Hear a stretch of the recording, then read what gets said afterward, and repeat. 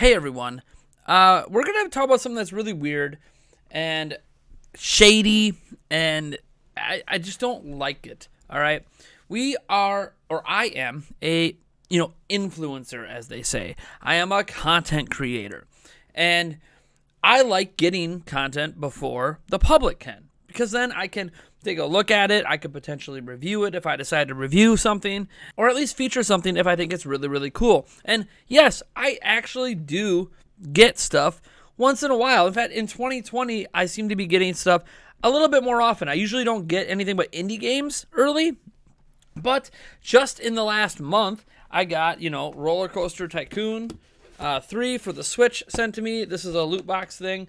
Uh, the actual game was just a code. Uh, I haven't really done any content around this yet, but maybe I will. I actually, I actually do really enjoy the game. I at least want to live stream it. Uh, and then just yesterday, I got this giant box of of goodness here um, for Bakugan Champions. I didn't even know this was coming. I don't even know how they have my shipping address. Maybe the maybe it's the same company uh, as uh as Roller Coaster Tycoon. Maybe that's why it happened. Uh, WayForward, Spin Master, Warner Brothers. Uh, I don't really know much about about so I apologize for that. I'm just trying to glance to see if there's anything, any information on here about who uh, who made that besides the HyperX. Anyways, you'll see that. Whoa.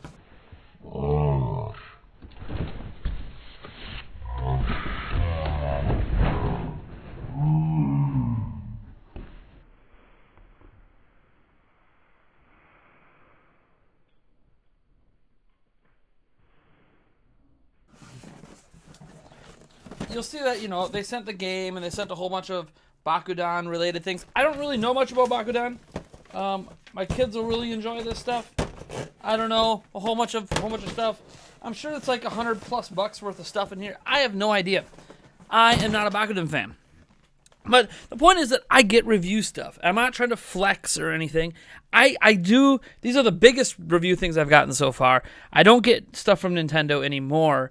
Uh, when I worked at Zelda Informer, I, I used to get Nintendo uh, games, like the Zelda games. But I, as Nintendo Prime, I haven't gotten anything from Nintendo or really any major company beyond indie studios until these two arrivals in the last month. Now, here's my thing about these uh, things when you get them, uh, they often have embargoes. They have NDAs. So there are certain days you can say certain things. And right now, as the Xbox Series X and PlayStation 5 have both had their embargoes lifted and we're getting reviews. Today, PlayStation 5. Yesterday, Xbox Series X slash S. Um, what's interesting is obviously the getting the personal opinions on these platforms. And Nintendo Switch had the same thing going on back in 2017 when people would get it early and, you know, got to say things about it. Now, according to a YouTuber named Last Gamer, uh, he was one person that was in contact with Nintendo. He's a bigger YouTube channel than me, 100,000 plus subscribers. Uh, he got he gets consoles early all the time. He was in contact with Nintendo about getting the Switch early. He claims that Nintendo uh, was going to put stipulations on him, and apparently these stipulations must exist with all the other reviewers out there, or all the other unboxers, or whatever, because the stipulations included, hey, you know, we'll give you one if you're going to say friendly things about it. In fact, not only do you have to say nice things about the Switch, here are bullet point list things we want you to talk about. How how nice the box and packaging is, how cute uh, the game cartridges are and small and compact. Like basically a bullet point of things they want you to say, making you essentially a marketing arm for the company. And this is a little shady because it doesn't get true opinions out there. In fact, here is the clip from his last video talking about this. And then when I read the embargo, I have to talk favorably about the Switch. I have to talk about how the box looks awesome and compact. There was so much there that there's no room for my opinion, and I did not like this. When I questioned Nintendo, they said, Don't worry, we're not sending you a Switch now.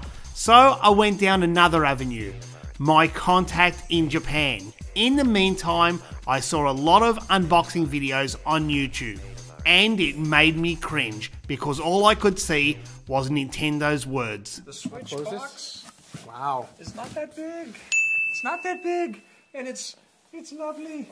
I love it. Take it out. I gotta go, guys. Look at I'll- that thing. I'll see you later. That is something to covet right there, isn't it? Now, pretty much every YouTuber who got a Switch uploaded their video on the 23rd of February. Right now. Look how small this is. That's great packaging. It's really good packaging. I, I want to. Mmm. Sweet, beautiful Switch. Look how cute this little tiny cartridge is. Because everything's so small. It is so the, the- small, The, but games are small. Don't you, so light too. you- packaging is as sleek as your console, um, but the Switch is never going back in there. It feels pretty solid. It's nice, substantial feel. Is uh, how this sort of stands up to some abuse. I mean, it feels robust, right? Like feel yeah. the That feel the heft this of is so. I just I can't say it enough how Yeah. beautiful this is. It's so sleek, right? It's so sleek. yes. It's like It's so little, it's like the size of an SD card. that is beautiful. look how small that is. that is beautiful. Everything is small with this machine. as you can see, I'm not okay with that. Nintendo was using the we'll give you a Switch early" stipulation to get positive feedback instead of honest feedback uh, put onto consumers. And when he tried to give honest feedback, Nintendo took down his videos. He went through the process of, of contacts he had in Japan and Australia to get the console about a week early. And Nintendo basically took out all of his videos, uh, even though he got the console through fairly legit means. So I to me it's it's frustrating thinking back to the launch of Switch and as much as I love the platform to see that Nintendo was not being honest when they sent these things out to some fairly major influencers and that the influencers were okay agreeing to these you know stipulations that you need to talk positively about something in order to get it. See, I got the Bakugan game and the Roller Coaster Tycoon game without any stipulations put on what I can say. They talk about certain things like, you know, if I was going to make a review, I was going to do preview content, you know, you can only stream X amount of footage, uh, or, X amount of hours of footage, or you could only show the game up to a certain point or talk about a game up to a certain point. But they never tell you what you have to say. You know, they'll, they'll mention some marketing points, but you don't have to say any of it. You can say whatever you want. I have never been offered anything from Nintendo included where I couldn't give honest opinions. But it appears with Switch, Nintendo was like, yeah, we'll send it out early to you if, if you'll toe the company line. And I, I think this is a, a very crappy practice. One that I think we're well aware happens, by the way. We know influencers are constantly getting products that uh, they are being told to talk glowingly of. But there's a difference between, say, oh, a sponsorship and you know being honest. Like if nintendo wants to contact me and they'll be like look nate we know you're a huge zelda fan. We know you have a huge zelda following. You know uh, we want to send you a copy of breath of the wild 2 collector's edition or whatever the case might be and we want you to talk glowingly about the game which i probably would anyways but we want you to talk glowingly about the game and mention this and that. I will i'd, I'd respond to the nintendo and i would say that's fine but uh, that that would be a sponsored video. That would not be an honest opinion. I would need a note to the fans in the title and to you guys on camera. This is a sponsored by Nintendo video to showcase Breath of the Wild 2. This is not an honest opinion on the game. This is a sponsored video where I am showing you what Nintendo is allowing me to show you. See, that is fine. If Nintendo wants to contact me and and and pay me to basically commercialize their stuff, okay.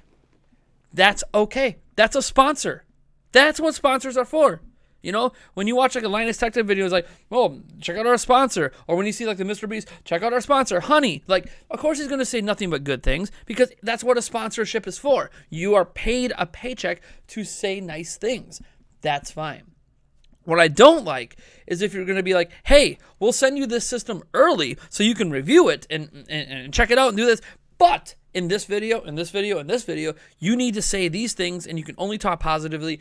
Tell us right now if you're going to talk negatively. If you are, we're not going to send you the system. And the thing is, for an honest review, you can't honestly tell Nintendo if you're going to say anything negative because you have to have it in your hand. You have to be able to review it. You know, the Joy-Con issues and the floppiness in the dock and like, you know, how, how the people that were breaking the locks on their Joy-Cons, like all that stuff is honest reviews that, you know, didn't really exist at that time. It was a lot of unboxings and glowing praise for the compact size and the cute cartridges and how great it feels in the hands, which maybe it doesn't feel great in the hands, but it's not like you could say that. or Nintendo won't send you a Switch. Now, obviously, once you got to launch day, you know, the, the, the cover can come off and you can say whatever you want. But, you know, if you've already put out a bunch of positive videos without being able to be honest, eh, you know, the damage has already been done. People already pre ordered and made purchasing decisions based off of your suggestions. Now, yes, some people might put hashtag sponsored, some people might put hashtag ad, but most people didn't. You know, iJustine, and others. I, I'm, I'm not harping on these people. I enjoy their content, but we all know that they accept things that they are expected to talk glowingly of. And the thing is, they might have talked glowingly of it anyways, and it might be an honest to goodness opinion, but you can't trust it because we now know that Nintendo sent out Switches without or, or with stipulations that you needed to be positive. I know this happens. We all know this happens. I wasn't aware it was happening with Nintendo. Because as I said, I've gotten Nintendo review copies before in the past. Maybe that's why I don't get them now. Uh, but yeah, like there was no stipulation that you had to be positive about the game. Even if it's highly likely a channel like me, Nintendo Prime, would probably talk positively about, hey, a Nintendo game. You want to send me Age of Calamity early? High chance I'm going to talk really good about it, but I'm not going to just, you know, let things certain things go. I will explore the frame rate. I will explore a lot of different things. I honestly am a little miffed, I suppose, is how to do it. A little miffed at why things are this way. Uh, and I know that for these companies, they're just trying to get all the positive press they can. Social media, these influencers, myself included, are this new avenue of advertising that's different than TV. We, we realize when we watch commercials on TV, it's an ad. We know when we see, you know, Mountain Dew on a billboard in an NBA game, we know that's an ad. But when people watch these influencers, sometimes it's not like so sure what what is an ad and what isn't. What is sponsored content and what's the truth? Because even if you do, you know, e- even if your video on YouTube is listed as a sponsored video, there's an option you're supposed to select when you have a sponsor or a paid promotion in your video. Even when you have that listed on your video, the viewer might not know if the paid promotion is the product you're talking about. Is it something you mentioned, like you know, hey, you can get our merchandise at, at you know, like what part of it is the paid promotion? I, it's not always super obvious, and not everyone notices that little warning in the corner that says paid promotion. Again, I'm not faulting the content creators so much because hey, we're all trying to make a living. If this is what you have to accept to, to get a product early, I get it. But honestly, if Nintendo had offered me a Switch early, but they said the stipulation is you have to talk glowingly, you have to talk about our bullet points, you can't talk about the things that you don't like about the system, that's not good. That's not something that I think I would accept. Or maybe I would accept it and then just not conform to it, and then Nintendo would never talk to me again. I don't know. Um, I, I, Nintendo, after making it clear to Nintendo, this guy did that he's not going to do that. They stopped talking to him. So, I, th- this is just not okay. And I would never accept anything like this if it has like that Bakugan game that just showed up out of nowhere. Yeah, in in the little letter they sent, oh, you know, we're gonna give you details on how you can handle coverage, you know, later in an email. Well, the game's already out, so they can't tell me how to cover the game anymore. I wasn't even planning to cover the game. Maybe that's why they sent it to me. They're like, hey, we have this extra press kit we never sent out. Let's send it to this Nintendo Prime guy. Maybe he'll mention it in a video. Got mentioned in this video. Maybe we'll do some gameplay. But I don't know anything about Bakugan. But I like, isn't it an anime? Now that I think about it, I don't. I don't. I literally have never heard of Bakugans beyond an ad or like a toy at Walmart or something. So I don't know anything. My children probably know. I should probably ask them. Um, and I, I, guess it has good reviews. I, I don't I don't actually know. It the game came out what three days ago. It's a full sixty dollar game, so I'm hoping that it's not like garbage. But I again I don't know. I haven't played it. Maybe we'll, maybe we'll try it out on a live stream later. I just I get increasingly frustrated when this happens. I wanted to make you guys aware this happened, and as much as I love Nintendo, I, I want you guys to know that Nintendo participated in this practice. This isn't to make Nintendo look bad or, or, or say they're a crappy company because so many companies do this. I don't think it's necessarily, um, you know, makes the company overall a piece of crap. But whatever marketing uh, people were in control at the time, I don't think anyone should be that way. You should always be so confident in the product you're putting out there that if you're going to send review copies that you think you're going to get praised anyways. If you're not confident enough in the Switch at launch that you think people are going to praise it, then don't send out review units, I guess, which also is a bad look. But hey, you know, I I believe in in companies not telling you what to say about a product that is a key thing with your audience unless it's an ad. All right, I am Nathaniel Robochance from Nintendo Prime. Thanks for tuning in, and I'll catch you in the next video.